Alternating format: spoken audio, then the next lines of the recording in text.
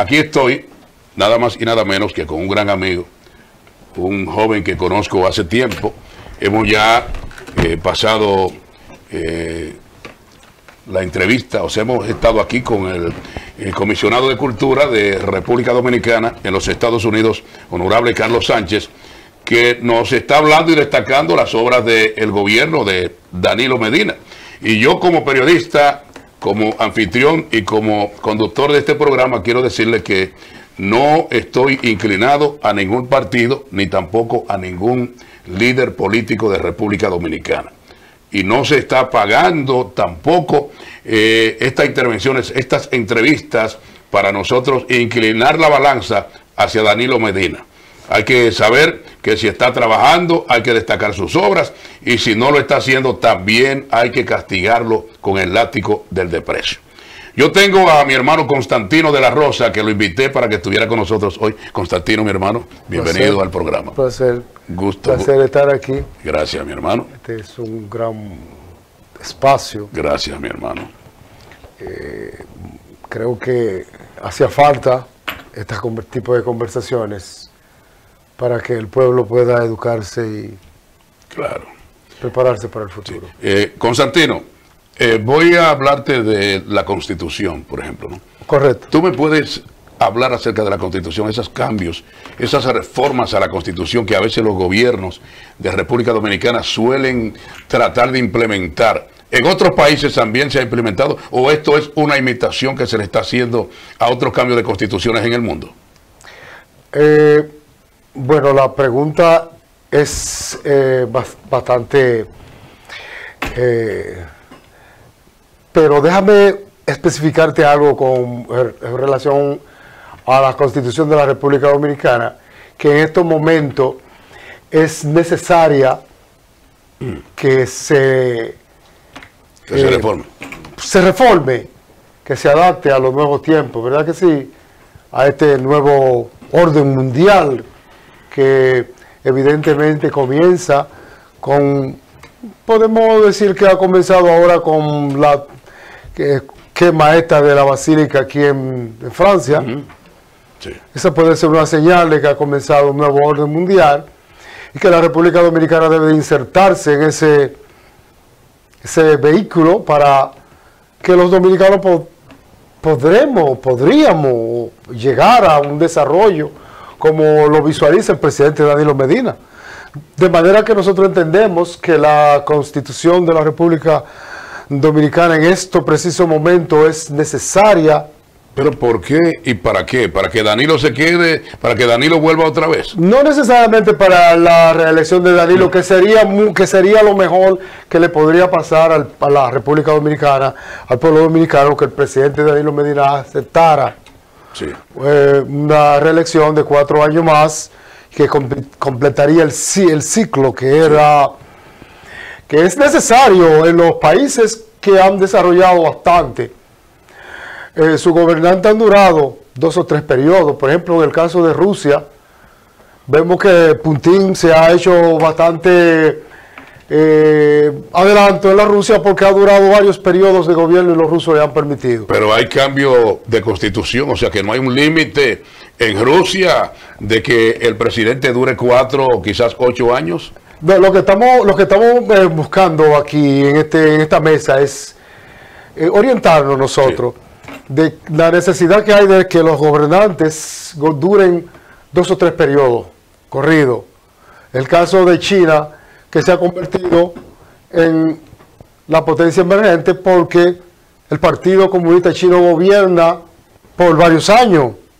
Y lo mismo estamos diciendo del Partido eh, Ruso, que gobierna también por varios años, y eso te trae eh, una estabilidad y una continuación de una obra de país. Pero hay gente que dice que el aspirar, el continuar en el poder, el continuar eh, tratando de enmendar y de, y, y, de, y de, cambiar la constitución, eh, ¿se puede convertir en una dictadura? Eh, mira, si hablamos de dictadura, tendríamos que estudiar, porque deben de haber varios tipos de dictaduras. Mm. lo que estamos hablando aquí es de reelección. Sí. Y también hay varios tipos de reelección y estamos estudiando y observando que esta reelección, Un momentito. Un esta reelección de Danilo Medina es buena. Esta reelección es buena. Vamos a tomar esta llamada. Perdón, porque esta Sí. reelección está montada base, base crecimiento continuo. Vamos, a, vamos a tomar una llamadita eh, para entonces regresar con usted, señor Constantino. Sigue adelante, saludos, buenas, estás en el aire. Sí, bueno, ¿cómo estás? Sí, muy bien, muy bien, un placer. ¿Con quién hablamos? Quiero preguntar al señor, yo creo que el señor está con eso.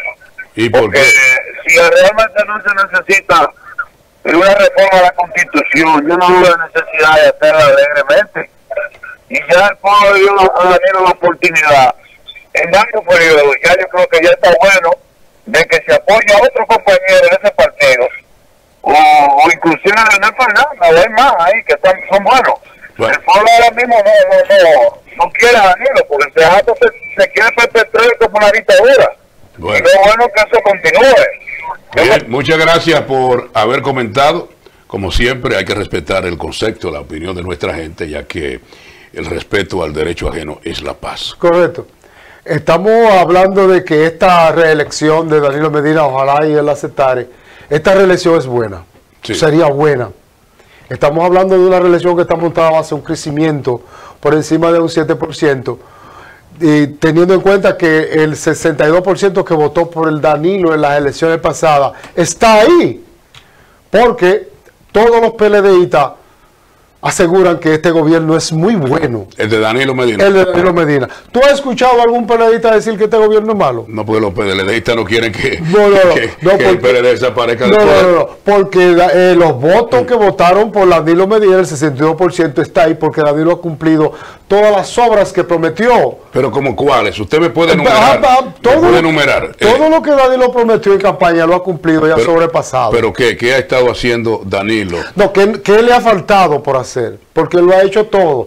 Por eso nosotros creemos que Danilo debe de eh, dedicarle al pueblo, eh, sacrificarse él por- con cuatro años más para que el pueblo entre en un proceso realmente eh, de, que se ha iniciado de crecimiento y que de crecimiento, ¿eh?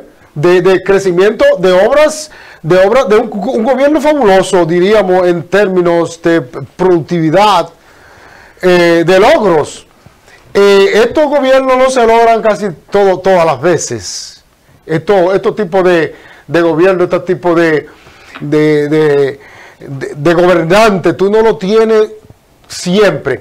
Algunas veces es eh, el factor, eh, diríamos, de disciplina, de entrega, de dedicación que tiene el, el presidente Danilo Medina, que lo ha llevado hasta hasta lo ha llevado hasta que el pueblo el pueblo esté pidiendo la reelección ¿Usted es funcionario por casualidad del gobierno de Danilo no, Medina? no, yo no soy un funcionario del gobierno de Danilo Medina, no soy funcionario, yo soy del pueblo. Eh, yo lo que como pueblo estoy mirando que nunca en la historia de la República Dominicana había visto un presidente que haya realizado tantas o sea, obras. usted está defendiendo espontáneamente al presidente Danilo. Eh, más que espontáneamente, yo diría que yo estoy defendiendo al presidente Danilo Medina desde hace mucho tiempo, porque el estilo de Danilo Medina es insuperable. No va a venir un presidente de la República Dominicana que pueda eh, desarrollar una obra de país como la ha eh, eh, comenzado y la ha dirigido el presidente Danilo Medina. Además, Danilo Medina es el único que en estos momentos puede ofrecerte más la creación de más empleo, por ejemplo, en un próximo gobierno, Sí. de más obras, de eh, acelerar el, crecimiento económico más, porque Danilo Medina ya tiene una estructura montada de gobierno. Eh, no sé lo que piensan nuestros amables oyentes, lo que están viendo. Si Danilo debe de continuar o debe de dejar a otro que aspire a eh, regir, eh, llevar los destinos de la patria de Duarte Sánchez Mella y Luperón. Mi amigo, el periodista Constantino de la Rosa, usted no está recibiendo eh, de parte del gobierno porque hay muchos periodistas que pertenecen a la facción de Danilo Medina y también están siendo pagos por el gobierno para destacar y hablar las obras de, de Danilo Medina. Usted es yo no, no, no, te, vuelvo y te digo, mira, nosotros lo que hemos hecho es eh, un movimiento realmente aquí en la ciudad de Nueva York y que lo hemos dominado dominicano soy, con Danilo estoy. Oye, pero usted está rimando. Dominicano, dominicano soy, con Danilo estoy. Eh. Entonces, nosotros creemos aquí en la ciudad de Nueva York, que es donde los dominicanos eh, reciben las ayudas no directa. Los dominicanos no reciben ayuda directa aquí en la ciudad de, la ciudad de Aunque el gobierno tiene muchos programas. Pero no reciben y por eso aquí tienen más, eh, hay un poquito más de, de, oposición. Pero en el campo, en la República Dominicana, en la ciudad, en toda, en cada, en los cuatro rincones de la República Dominicana, los dominicanos, especialmente la mujer, está pidiéndole al presidente Danilo Medina que acepte eh, repostularse por cuatro años más. Ojalá y el presidente Danilo Medina aceptara. Eh, ¿Y usted también se lo pide al presidente que se eh, Yo creo que es necesario, yo creo que es una necesidad nacional que el presidente Danilo Medina se reelija. Por ejemplo, mira, ahí va aquí el acto que va a haber el día 4, el sábado. Mm. ya, están vendidas todas las boletas. Vendida no. Eh, bueno, están ya. Sí, sí. Eh, o sea, que están en las calles. Ya están en la calle. Yo, yo, tengo la mía. Tú yo tienes la tuya. Yo tengo la mía. Y aquí vamos a dejarlo de nosotros. Y entonces yo creo, yo creo que eh, si el presidente Danilo Medina escuchara el clamor de los dominicanos, eh, estaría en capacidad de sacrificarse por cuatro Lo vuelvo a invitar otra vez Pasa buen tiempo. Muchas gracias, mi querido Constantino de la Rosa, por haber estado con nosotros. Gracias a los que nos vieron y nos siguen viendo y nos siguen proyectando eh. y sobre todo nos siguen multiplicando y reproduciendo a través de Visión Global TV, Supra FM, en Radio como Supra FM New York, en Google Play, Apple Store, en YouTube, Facebook, Instagram, Twitter y nuestras páginas web simultáneamente con eh, satélites en plataformas Roku, Amazon, Dominica Networks. También tenemos todos los televisores inteligentes proyectando este programa. Su servidor Germán Batista les da las gracias recordándote que hay que hacer el bien sin mirar a quién. Regresamos mañana a partir de las 5 con otra emisión más del programa televisivo Hablando, conversando con Germán Batista. Buenas tardes, buenas noches, buenos días para todos. Mm -hmm.